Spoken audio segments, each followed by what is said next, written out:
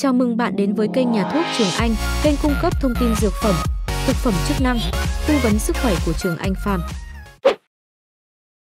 Nội dung trong video này sẽ tìm hiểu về thuốc Kidico, được sản xuất bởi công ty dược phẩm Catalan Australia.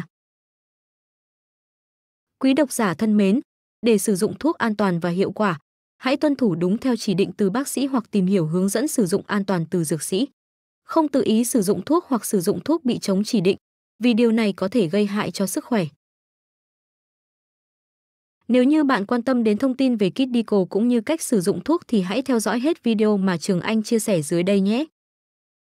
Thành phần Mỗi viên nang mềm có chứa Canxi, Phosphor, Cholecalciferol Phytomenadiol Tác dụng Công thức bổ sung canxi dạng nhai có vị sữa dâu rất ngon được sản xuất theo công nghệ đã được cấp bằng bản quyền.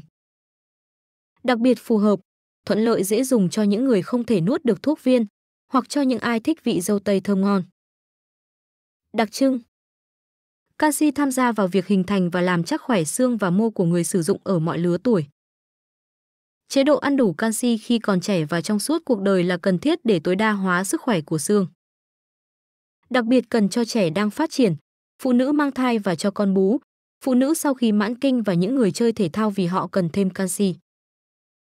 Canxi cần cho sự phát triển cơ và xương của trẻ, cho sự hình thành răng và cho hệ thần kinh khỏe mạnh. Có chứa vitamin K1 và D3 giúp tăng khả năng hấp thu canxi. Giúp duy trì và cải thiện sức khỏe nói chung. Liều dùng Trẻ em từ 1 đến 3 tuổi, một viên mỗi ngày, từ 3 tuổi trở lên, 1 đến 2 viên, tới 4 viên mỗi ngày, phụ nữ mang thai và cho con bú, 2 viên mỗi ngày, hoặc theo sự hướng dẫn của bác sĩ. Đặt viên Kiddico thẳng vào miệng và nhai, có thể ăn cả viên, hoặc chọc một lỗ vào viên nang và vắt vào miệng hoặc trộn với thức ăn yêu thích.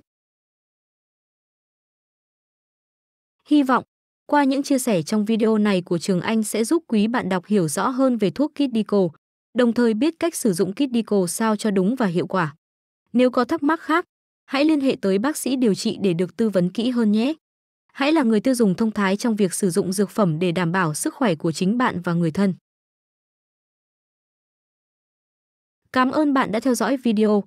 Nếu như bạn thấy video hay, có ích và để cập nhật thêm nhiều thông tin về các sản phẩm dược phẩm, mỹ phẩm cũng như các loại thuốc hoặc thực phẩm chức năng khác, vui lòng nhấn đăng ký và theo dõi kênh nhà thuốc Trường Anh của Trường Anh Farm.